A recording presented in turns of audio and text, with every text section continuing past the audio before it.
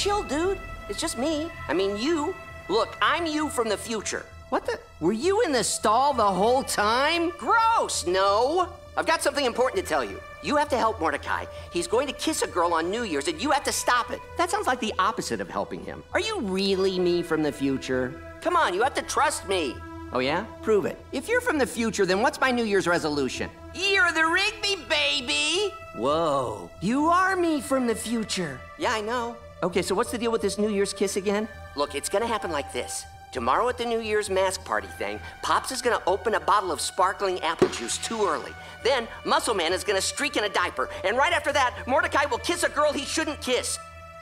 You gotta stop that kiss! Okay, but why? Sorry, dude, future rules say I can't tell you. But Insert five credits to continue hologramophoning. wait, no! Trust me! It's the only way he'll be happy!